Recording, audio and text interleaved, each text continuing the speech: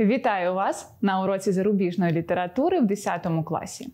Моє ім'я Ярослава, і сьогодні ми з вами дослідимо феномен модернізму як літературно-мистецького напряму кінця 19-го, початку 20-го століття. Пригадайте, які мистецькі напрями ви вже знаєте: це барокко, класицизм, романтизм, реалізм.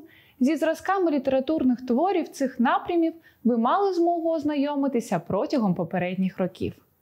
І модернізм стає логічним етапом розвитку мистецтва кінця 19-го, початку 20-го століття. Деякі твори мистецтва, я впевнена, ви вже знаєте. Наприклад, портрет акторки Жанни Самарі. Молода, вродлива дівчина з великими синіми очима та коротким рудим волоссям, що тримає руку біля підборіддя. Автор зображає її щасливо замріяною. Відтінки рожевого та зеленого створюють ніби вуаль на портреті. Маски, іноді нібито випадкові, дають відчуття свободи, свіжості, молодості. Ми бачимо не саму Жанну, а враження автора від споглядання її вроди. Перейдімо до теорії.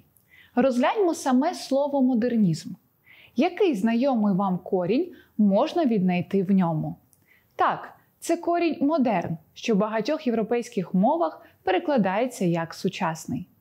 Відповідно, йдеться про літературно-мистецький напрям кінця 19-го, початку 20-го століть, представники якого здійснюють у мистецтві експерименти з часом і простором, формою художніми засобами, самим способом зображення художньої дійсності. Як розвивався цей напрям у різних видах мистецтва? У літературі попередником модернізму був декаданс. За цим новим для вас словом криється узагальнена назва кризових явищ у мистецтві, яке показувало світ, що розпадається. Декаданс мистецтво, яке відображає занепад духу, цивілізації, кризу теперішнього і затуманене або ж апокаліптичне бачення майбутнього. Митці, серед яких був і вже відомий вам Оскар Вальд, прагнули створити нові естетичні та етичні цінності. Письменники заперечували необхідність відтворення зліпку дійсності, але, як і романтики свого часу, послуговувалися поетикою контрастів, шукали піднесені світи, з'ясовували сенс буття і зверталися до нових джерел творчості. Докладніше про літературу модернізму ви дізнаєтеся вже на наступній зустрічі, а поки розгляньмо інші види мистецтва. У живописі модернізм бере початок 1863 року. У той час традиційним було проведення Паризького салону, офіційної виставки картин, експозицію якої визначало журі, орієнтоване на традиційні твори мистецтва. Роботам, автори яких дивилися на живопис інакше, було відмовлено. І тоді імператор Наполеон III ініціював проведення салону знедолених. Сенсаційною стала картина Едуарда Мане Сніданок на траві. Публіка, що мала усталені уявлення про прекрасне, була обурена. Художник зобразив оголену жінку в оточенні чоловіків, але не це було незвичним для відвідувачів.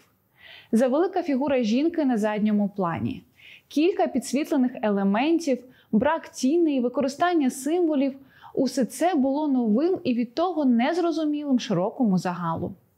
Та мистецтво почало незворотний рух у бік змін. Згодом Клод Моне напише водяні лілії, Вінсент Ван Гог Зоряну ніч, Едвард Мунк Крик. Кожна із цих робіт і ще сотні полотен увійдуть в історію як живопис модернізму.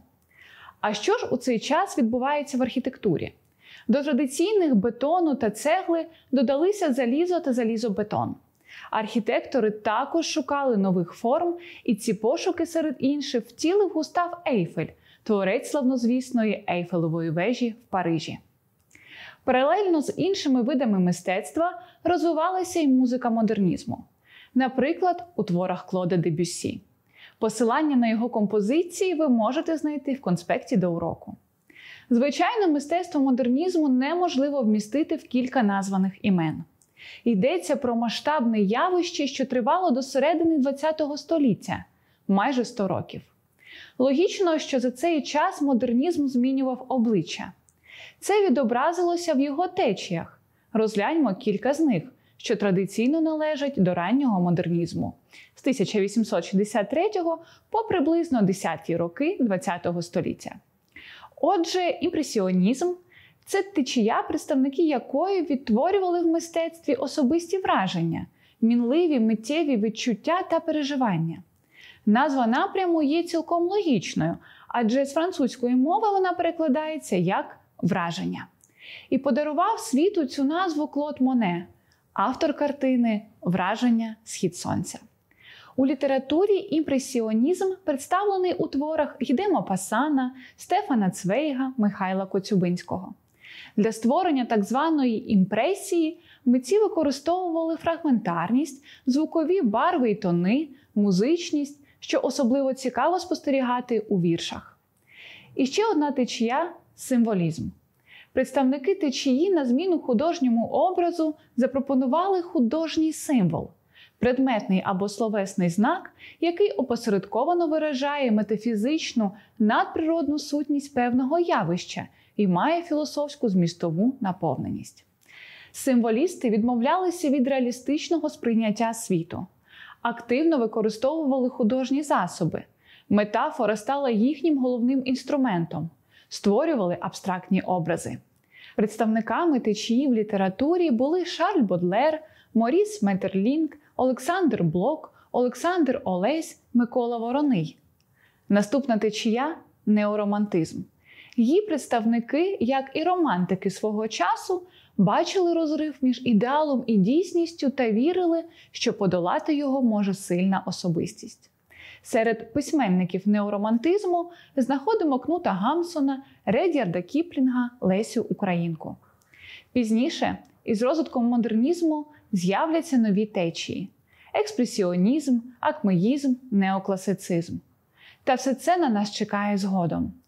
Поки ж звернімося до тих рис, що притаманні всім течіям, які характеризують модернізм як літературно-мистецький напрям, нелінійне представлення часу і простору в художньому творі, концепція мистецтво заради мистецтва, перевага форми над змістом, пошук нових художніх форм, інтенсивні художні експерименти в прозі й поезії, взаємодія різних жанрів, послуговування новими мотивами, темами й образами. Наприклад, культивування міського простору, урбанізм, увага до виявів підсвідомого, форми потоку свідомості в літературі, надання переваги творчій інтуїції, посилена міфотворчість у поезії та прозі. А тепер прошу вас подумки повернутися до роману Оскара Вальда. Чи властиві йому риси модернізму? Занотуйте свою відповідь у зошит. Це була теорія модернізму. А тепер ви маєте можливість дослідити напрям на конкретних прикладах творах Бодлера, Верлена, Рембо. Тож до нової літературної зустрічі!